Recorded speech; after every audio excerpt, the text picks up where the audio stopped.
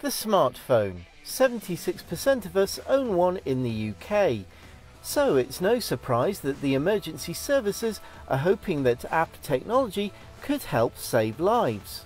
And for those on two wheels, that is a very real possibility indeed.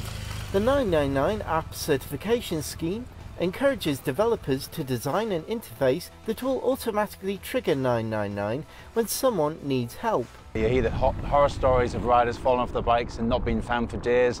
Um, we started um, doing some investigation around that to find out well what what you know what technology paramedics have and um, you know, we found that really a lot of paramedics struggle to find riders that have been thrown from the motorcycles. And the problem you've got with something like this, if you do hit something, you are generally thrown.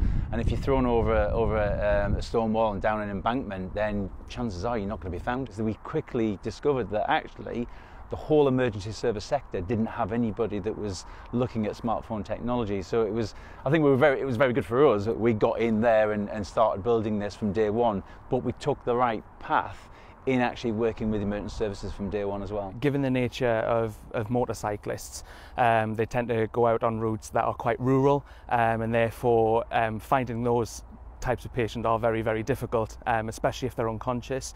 This um, app provides data that gives us a location accuracy of about uh, one metre. So even if the rider is unconscious, we're able to get an alert and get a rider to them um, knowing pretty much exactly where they are. The app has been in development for the last five years and has undergone test after test. We, we got to 10,000 members pretty quickly, and that was as part of a controlled UK pilot. And we found in the early stages that actually, when you give it a ride and say, right, go play with it, they do things that you, you don't expect them to do. So we actually started to introduce lots of different guards.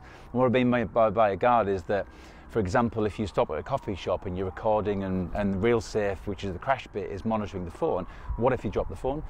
All those kind of things we discovered earlier on that, well, actually, we needed to put some more guards and we needed some more refinement. If you don't respond and you can't respond, it sends the detailed location data, the confidence level around the GPS, because sometimes GPS can be a little bit inaccurate, the medical information, the phone number, directly to the, um, the nearest ambulance service. And, that, and, as a result of last week, when the new app comes out, we're, we're busy finalising the app at the moment, all of those alerts, alerts will pass through the 999 service to the nearest ambulance. You know, once we launch the new version, it's, it's, it's worldwide in terms of uh, route recording.